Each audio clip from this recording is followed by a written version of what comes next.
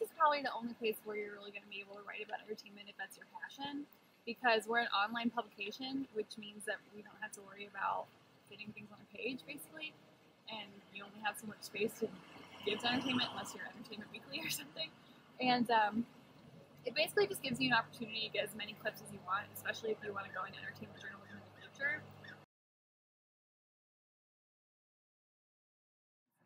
We meet every week, including the all staffs and stuff. So we meet discuss our story ideas, and generally, entertainment section is going to be reviews and then lists, lists like those cute little like um, movies that you haven't seen but you should see. They're very like voice oriented and like so it's really important that my writers have a strong voice. Okay. My favorite event that I've ever covered was last year's Queer Prom, which is Ally's annual sort of event.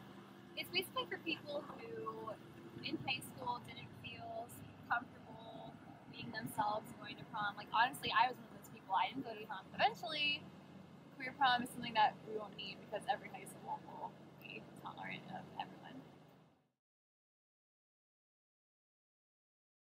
Started going on this website called collegefashion.net. It's just like a site for young women who want to like be able to be stylish, fashionable, like on a budget. Much stuff that every college girl has to worry about. And I just happened to see a post. It was like apply for an internship, and I was like, I'm in journalism school. I can do this.